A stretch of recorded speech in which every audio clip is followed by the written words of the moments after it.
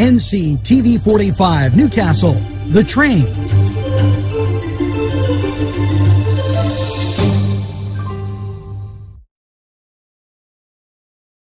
This program was provided through funding from Cedars Restaurant in New Castle, Pennsylvania.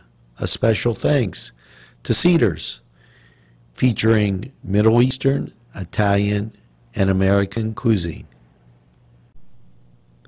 A special thanks to the YMCA for caring about the Lawrence County community and providing funding for this program. A special thank you to Tuscany Square Restaurant, Wilmington and Mitchell Roads, for providing funding for this program.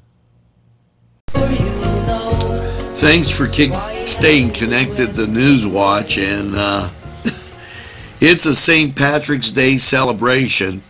This is an outback hike. We will meet at the Wampum train station and take a small road walk along Route 18 to jump to the trail and head that leads back to Wampum. Underground shelter, which was recently built with the efforts of the chapter members. The shelter will be a turnaround point and we will hike to the train station after the hike attendees and volunteers may enjoy a hot dog beverage and a potluck picnic.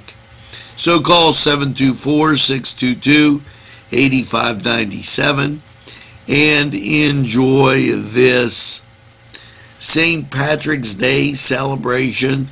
And uh, I think you better do it right away because it is quickly approaching.